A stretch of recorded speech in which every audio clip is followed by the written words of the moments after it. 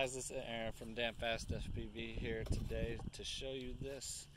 This is the Blitzschnell frame from DamFast FPV and we're featuring this Beta FPV board.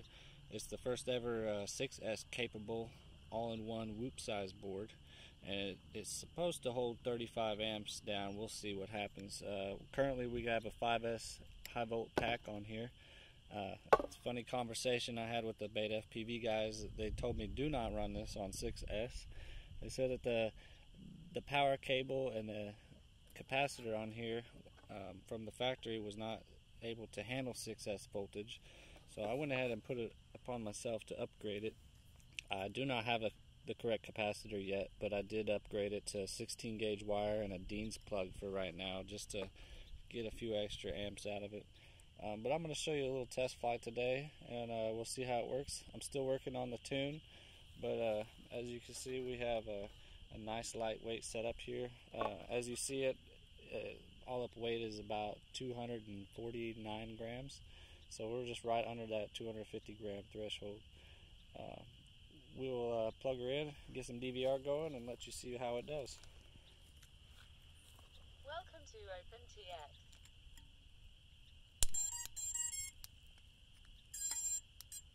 Or those Dean's plugs don't pop together just like those XT30s do. Alright, here we are. Gonna run the DVR.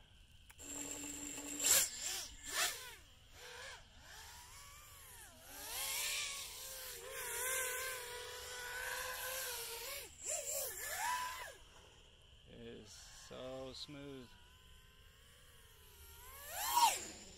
I've been flying this already for a little while.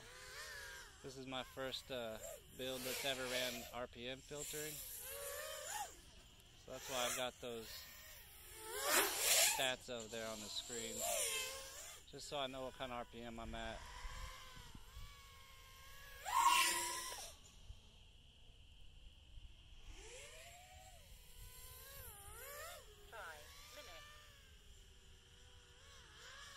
One thing I've noticed about this ultralight 5 inch is they don't really need as much milliamp in the battery as most.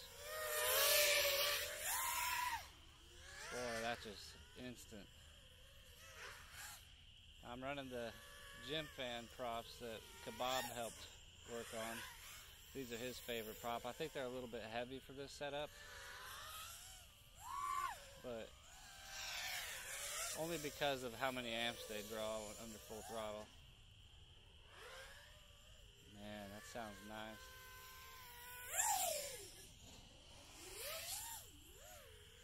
Throttle management is really smooth.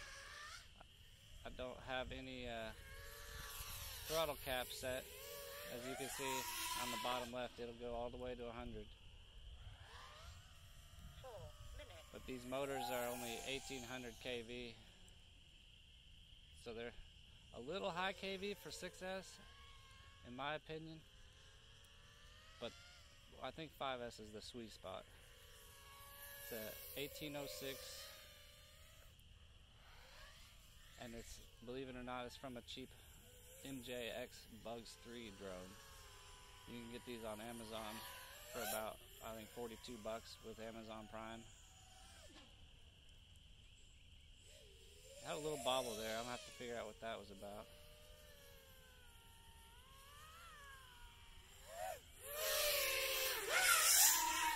Boy, that just gets it.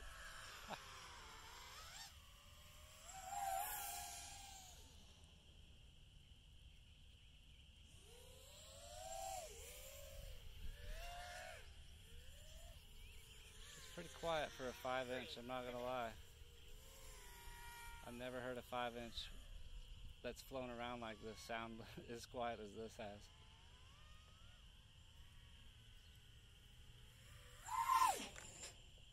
Yeah, major bobble there.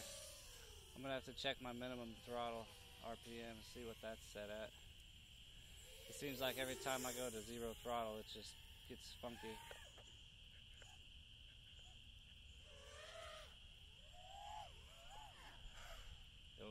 It's weird.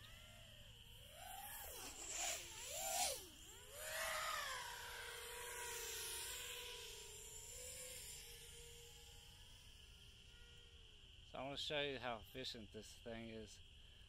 So if I can get it down here to hover, it's it's pretty much at two amps or below to maintain a hover with this thing. There we go, about 1.85. So something like this, it would probably be set good for a long range setup. Throw a crossfire on there with a high output uh, VTX. You're not going to be carrying no GoPros, but you know what? You can sure go a long ways and be real quiet about it. And you're below the 250 gram mark.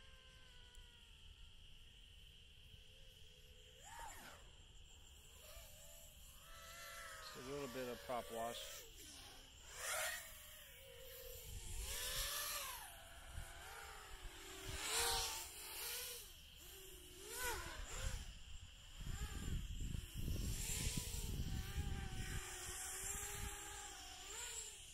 if we can get five minutes out of this.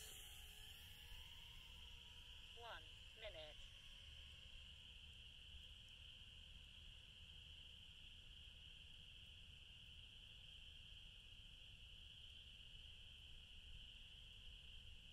It's gonna be a little bit of a long video, guys. I'm sorry.